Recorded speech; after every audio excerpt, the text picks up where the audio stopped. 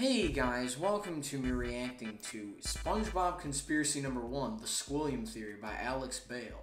Now, I've gotten requests to react to Alex Bale's SpongeBob conspiracy videos, and I've heard they're pretty good. I am actually a SpongeBob fan myself, so, you know, I, I might be interested in it. I haven't really seen much of his theories. I haven't really seen many SpongeBob theories, actually. The only one I have seen is Skin Theory, and I haven't even gotten through the whole video because it's an hour long. But, uh, yeah, anyways, guys, originally in the description, make subscribe to Alex Bale, link, social in the description. notes, Let's get right into it. Squilliam Fancyson. Squilliam Fancyson. Squilliam Fancyson. Squilliam Fancyson III is Squidward's rival from high school band class. Oh, yeah. So, I just took my private yacht across my private lake to my private heliport. He's more wealthy, popular, and talented than Squidward, and he always rubs it in his face. Like That's in the right. background music. I'm living your dreams, Squidward. Oh, just succeeding in everything you failed in. But I intend to prove that he's a fraud, using his wealth to make himself seem more popular and talented than he actually is. He goes to ridiculously Oh, no, extreme hot. and expensive lengths to humiliate Squidward and show his superiority, and I'm gonna prove it. SpongeBob is one of my Okay. favorite shows from my childhood. Even going Same. back now and rewatching the old ones, it still holds up. You might think it's just a kid's show, there's no continuity, there's nothing worth theorizing about, but the show constantly brings back characters and Oh, references from yeah. previous episodes. And if you look closely, you can connect the dots It's and like find very interesting stories. And today, I'm going to prove that Squilliam Fancyson III is a manipulative fraud. Okay. Evidence number one, the pet hospital. We first meet Squilliam in season two, Band Geeks, 15, okay. Band Geeks. The episode opens with Alright. Squidward playing the So I'm just gonna pause it here for those who don't know. I, I I forgot to say this at the intro, but I did hear that this is one of the lesser theories, and I, I going into it, the fact that it's number one, it's like yeah. Usually the first one isn't really the best, but I've heard the later ones are a lot better. So if you guys want me to react to those after this one, I will definitely check them out. Honestly. clarinet and getting a knock on the door. Oh, yeah. Yeah, uh, we're with the pet hospital down the street, and I understand you have a dying animal on the premises. Immediately after, Squidward gets a call from Squilliam. Isn't that a reference, a joke though? I feel like it's a joke. Hello, you've reached the house of unrecognized talent. Please start after the. Sounds as though you've got a dying animal to attend to, eh, old chum? I believe that not only was Squilliam spying on Squidward to know when Oh, he yeah, was how did he know clarinet, that, but actually? he also hired the doctor to come and embarrass Squidward. Yeah, uh, we're with the pet hospital down the street. Pet hospital down the street. We have never seen a pet hospital in Bikini Bottom. We've only ever seen just the regular Bikini Bottom hospital. We've seen this purple doctor fish before, Oh, yeah. but once again, he's never worked at a pet hospital. We've only ever seen him at the regular general. Yeah, the hospital. Mad lad. Well, Mr. Squarepants, it seems you have the suds. Are you ready for your treatment? Then there's this green fish behind him, and we've only ever seen him as one of the many identical paramedics that work at the Bikini Bottom. The hospital. identical We even see him at the end of the episode to take Squilliam away after fainting. Yeah, four so of it is very likely that Squilliam hired these two and told them to pretend like they're from a pet hospital just to humiliate Squidward. But this is just the start Okay. of Squilliam's elaborate lies. Evidence number two. How did he the know bubble though? Yeah, that is really In the the same question. episode, Squilliam also says, I'm the leader of a big fancy band now, and we're supposed to play the Bubble, Bubble Bowl. Bowl. next week. Yeah, The Band Geeks is problem such a good is, vi- uh, I'm busy next week and can't make it, so I was hoping you and your band could cover for us. But we've never seen Squilliam's band before, and despite claiming True. he's too busy to make it to the Bubble Bowl, True. he still shows up at the end to watch Squidward's band. So both his excuse and probably his band were made up to pressure Squidward into humiliating himself at the Bubble Bowl. Evidence number three: True. Squilliam's friends.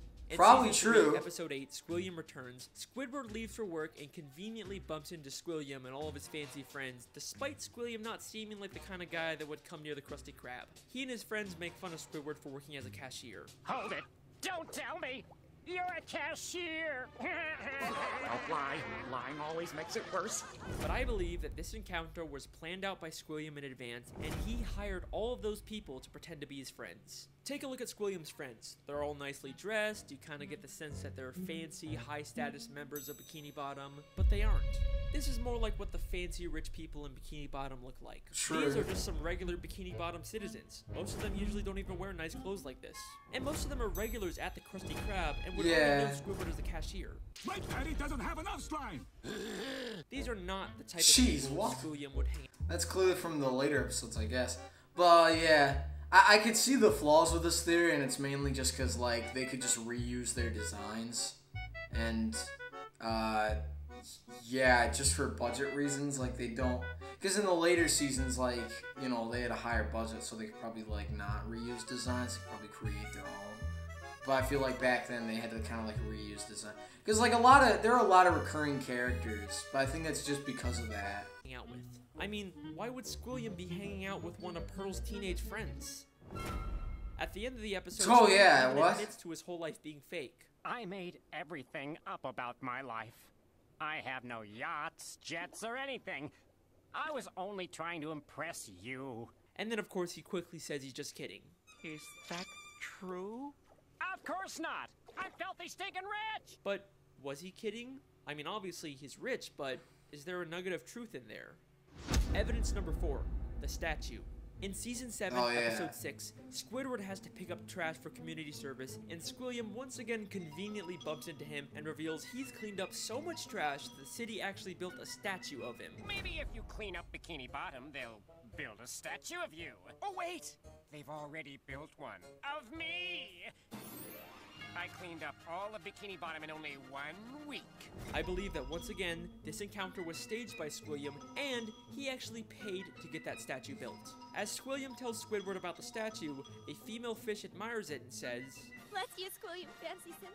Bless you. But if you remember, this is one of those friends Squilliam likely paid, making her whole comment very true. fake. By the end of the episode, Squilliam's statue gets destroyed. A police officer approaches and they have this exchange. This is your statue? It was. Squilliam admits that it's his statue, not the city's. And why else would the officer give him specifically a ticket if it was city property? Evidence number five. Oh, the okay. concert. In I season guess. six, episode 17, Squidward watches Well- Squilliam oh, yeah, play this. clarinet at a big fancy This bar. episode, I remember he this. receives a standing ovation, causing Squidward to leave angrily. But I believe this entire concert is a scam. Not only has the audience been paid to cheer, but Squilliam never even touches his instrument. Once again, How many do you of the audience members were part of Squilliam's quote How do you know? friends, Okay, But we also never actually see Squilliam play the clarinet. The episode opens right after he's finished. Yeah, but that could be yeah, that could be the end. I 100% this is definitely the segment where I paused it too early because he's just getting he's gonna explain something. But yeah, this this is like the end of the concert. I think that's what it's implying. his performance with the audience cheering, and one member of the audience says, He's such a great musician. He doesn't even have to touch an instrument to be brilliant. Maybe the real reason Squidward leaves so angrily is Ooh. because the audience cheered for Squilliam even though he never even touched his clarinet. Oh, okay. Maybe Squilliam is just Never- as bad yeah, I as Squidward's paused it way too early. just trying to hide it. Squilliam has gone to some pretty extreme lengths just to humiliate Squidward, but nothing, and I mean nothing, compares to what he does next. Evidence number six. The Music College. In the same episode, after Squidward leaves the concert, he's approached by the headmistress of the Bikini Bottom prestigious music college. Aren't you the esteemed Squilliam Fancyson III, who we all came here to see perform tonight? She mistakes him for Squilliam and offers him a position as a professor. Squidward pretends to be oh, Squilliam. Oh yeah, wait. I actually do remember this episode. I also thought it was very weird that she she mistaked them because they're obviously different. You could tell because the unibrow. and teaches a class only for the police to burst in and arrest him, all while he's being filmed on live TV. And I believe that this is Squilliam's most elaborate and most expensive scheme to destroy Squidward both publicly and legally. This encounter where Squidward gets offered a job is already suspiciously convenient, but listen closely to their exchange. I'm. Squilliam Fancyson. But didn't you just say a minute ago that your name was Squidward Q Tentacles? It is. No, I mean, uh, no, no, I didn't. Well, that's a relief. I mean, what kind of a moron would go to their worst enemy's music recital? What kind of moron would go to their own enemy's music recital? How does she know that Squidward and Oh, yeah, Squidward are what? Enemies? If she knew who Squidward was, then why didn't she recognize him? Why would she mistake him for Squilliam? This feels way too much. Oh, that's a little weird. Yeah, that is a weird to set a line, I guess. But I guess And it's just a- not a joke. The headmistress's associate is literally just a guy from the paid audience wearing a disguise. He just threw on some glasses to seem smart. Squilliam knew that Squidward couldn't resist the opportunity to teach a music Oh, no, class, he's hot. even if it meant breaking the law. My very own music class. Then we get to the Bikini Bottom prestigious music college, and right off the bat, there's something very fishy about this place. The building itself is very green and grimy and has a very cheap metal look. Nothing about this says prestigious except for the big sign on top, which feels like the only new thing about this building. I think there is a very good chance that Squilliam just bought some old warehouse, then stuck a sign and some paint on it to disguise it as a college. I mean, look at these other schools in Bikini Bottom. They all have a very nice structure and a paint job, but this prestigious music college. Actually, a good point. Going into the classroom, not only does it have another one of Squilliam's friends, but if this is such a prestigious college, how did SpongeBob and Patrick get in here? Would you two numbskulls mind telling me what you're doing in music class anyway? Sure. Patrick's New Year's resolution was to learn to play an instrument. They say it was their New Year's resolution to take a music class, but you'd think it'd be harder for them to get into an esteemed music school if they just decided to go to it on a whim. Yeah, Seems like what? Just letting in anyone to sell this ruse. Then, both the police, Squilliam and the headmistress, and a live news broadcast show up at the same time to arrest Squidward for impersonating Squilliam. If the extremely coincidental fact that all of these people suddenly showed up at the same time isn't enough for you to believe that Squilliam set it all up, I've got something that's going to blow your mind. Ad break? Squilliam literally has the police working for him. Squidward Q Tentacles, Okay, I'm never placing you under arrest for impersonating a genius. If that doesn't sound like he's been paid off, I don't know what does. The lengths that a goes genius, to humiliate Squidward are insane. He literally builds statues and entire buildings just to make Squidward feel inferior. But why?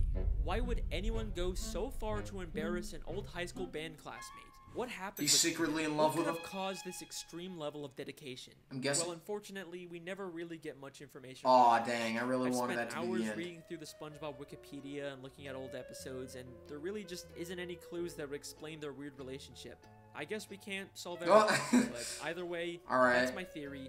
Thank you so much for listening. I really hope you guys enjoyed. I'll see you next time. What? Wait a second. Season 6, Episode 5. Oh, okay, there's more. I thought that was the Just a end. normal episode where SpongeBob and Patrick are da, squid. da, da, Nothing really out of the ordinary. Except I have one question about this episode. Why does Squidward have Squilliam's robe? That is clearly not the purple robe he usually wears. That is Squilliam Fancy? III's robe. Why would Squidward have this?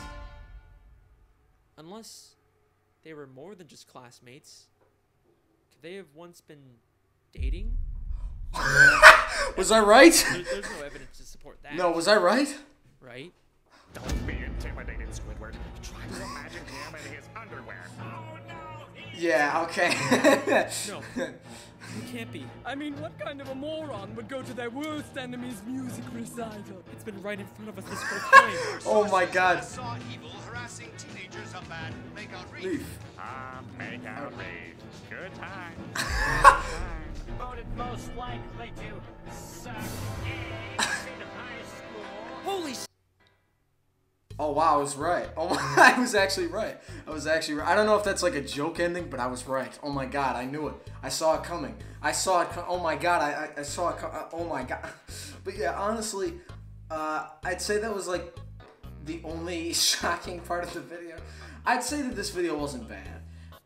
Uh, There are definitely flaws with this series. For example, a lot of it could be excused by like, oh, they didn't have a high budget, or some of these lines could just be jokes. For example, like the first example he gave with the pet hospital, because I feel like that joke was, oh yeah, that joke was in the actual episode was meant to make fun of like Squidward being bad at playing the clarinet, because like his clarinet playing is so bad it sounds like a dying animal. So that's the joke. So that that's how it could be kind of like dismantled is that there are a lot of like lines that could be taken as jokes here and they aren't actually like hints and stuff. But I, I would say I guess the, the I mean to be fair that one makes sense. And I feel but I feel like that's also kind of a joke. But uh, yeah, anyways, guys, uh, I hope you guys did enjoy. Leave a like in the video. If you guys wanna want me to react to the other theories, I will gladly do so. But yeah, anyways, guys, you enjoyed, uh, I'll see you next one. Bye.